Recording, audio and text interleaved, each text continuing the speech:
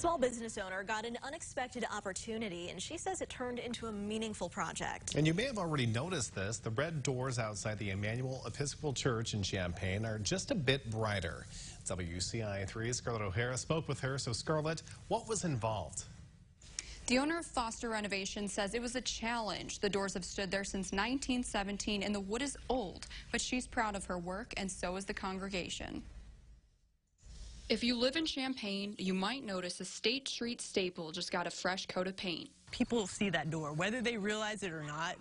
Every day they drive by it and they see it. Thousands of people. Sue Foster says when she heard the Emmanuel Memorial Episcopal Church needed to bring their century old doors back to life, she was honored to help. That church deserves to have those doors looking good again. She says it's a personal project, both for her and the community.